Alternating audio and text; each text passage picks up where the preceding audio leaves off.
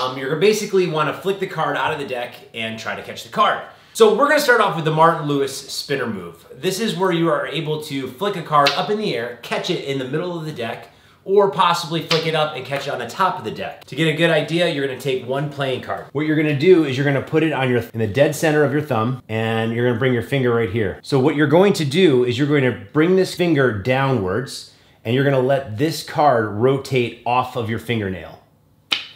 So now that you have mastered this little flick right here, all you're going to do is place that on top of the deck. Now that the card is on top of the deck, you're doing the exact same thing, except you're bringing it back letting it go off the fingernail.